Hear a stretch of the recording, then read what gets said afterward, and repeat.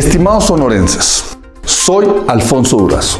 Recientemente presenté mi renuncia como secretario de Seguridad Ciudadana para dedicarme de lleno a la construcción de un proyecto de cuarta transformación para Sonora. He militado y simpatizado con el PRI, con el PAN, con el PRD y ahora lo hago desde Morena, donde sabemos hace falta poner orden, pues hay mucha división.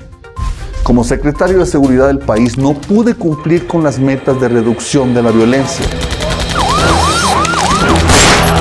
Pero obtuvimos la experiencia necesaria para, sin duda, hacerlo en Sonora. Reconocemos que como 4T no hemos podido comunicar a la clase media las bondades de este modelo de gobierno. De los errores y los aciertos hemos aprendido. Y con eso lograremos ahora sí hacer realidad la 4T en Sonora. Saludos.